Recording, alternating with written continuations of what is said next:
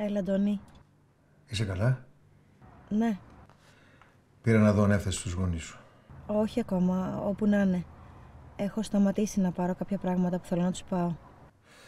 Ελπίζω όταν γυρίσεις να έχω καλύτερα νέα για την εταιρεία και να είμαι πιο ήρεμος. Μακάρι.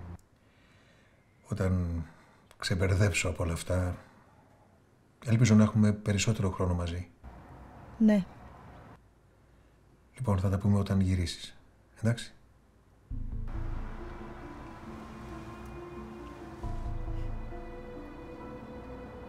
Μπράβο. Καλά τα είπες. Οδήγησε τώρα με προσοχή και μην κάνεις καμία στραβή. Μην μας σταματήσεις κανείς στο δρόμο. Τι έχεις σκοπό να κάνεις;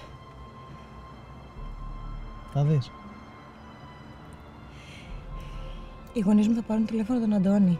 Θα ανησυχήσουν, θα με ψάξουν. Θα φροντίσεις εσύ να μην συμβεί αυτό. Θα τους πάρεις τώρα τηλέφωνο και θα πεις ότι είναι αβάλλεται η επίσκεψη. Έτσι ξαφνικά. Θα υποψιαστούν κάτι. Δεν θα υποψιαστεί κανένας τίποτα. Θα τους πεις ότι αρρώστησε μια συνάδελφός σου, ότι έχεις πολλή δουλειά στο νοσοκομείο και τελικά δεν μπορείς να πάρεις άδεια.